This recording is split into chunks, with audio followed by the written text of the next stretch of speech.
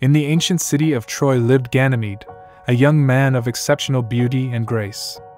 He was the youngest son of King Troas and was loved and protected by his father.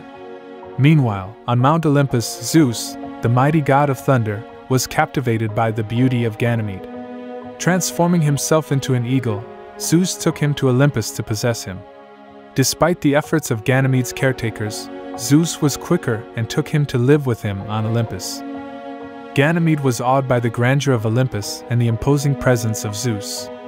The god praised Ganymede's beauty and offered him to become his personal cupbearer, promising him riches and privileges.